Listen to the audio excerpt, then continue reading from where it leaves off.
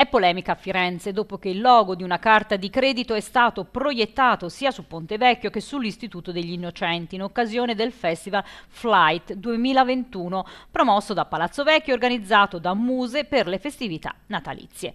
Il caso è stato sollevato da due consiglieri comunali di sinistra Progetto Comune, Antonella Bundu e Dimitri Palagi.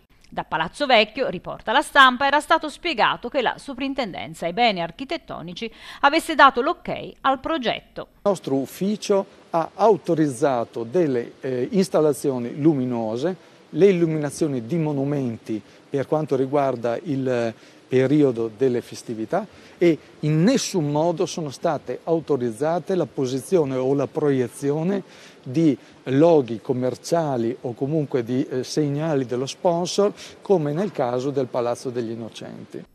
Oggi l'intervento del sindaco Dario Nardella che afferma per quanto Muse ci abbia riferito che si è trattato di una proiezione di pochi istanti, ritengo che le immagini degli sponsor non siano appropriate a quei luoghi.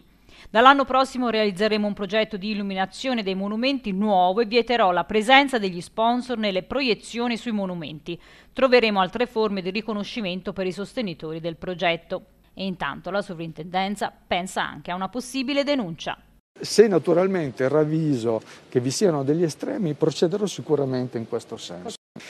Un utilizzo non autorizzato del monumento e spero anche che i proprietari dei vari monumenti avessero a loro volta dato l'autorizzazione a utilizzare le facciate dei loro edifici perché fungessero da schermi.